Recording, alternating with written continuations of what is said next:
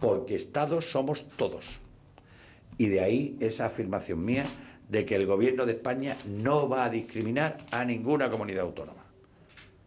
Y si tiene que poner alguna medida correctora en alguna comunidad autónoma que sea gobernada por el Partido Popular, hoy ha habido una muestra muy clara de lo que le han dicho al presidente de Extremadura.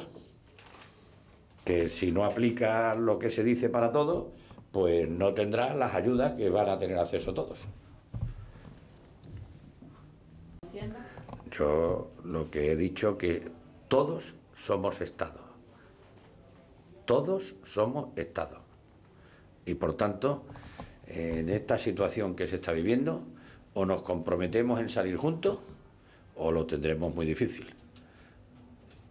Así que si todos somos Estado, Administración General del Estado, comunidades autónomas, municipios y provincias, a ponernos manos a la obra para unar los esfuerzos y también, ¿por qué no?, aplicar políticas que se puedan complementar para salir cuanto antes de la crisis.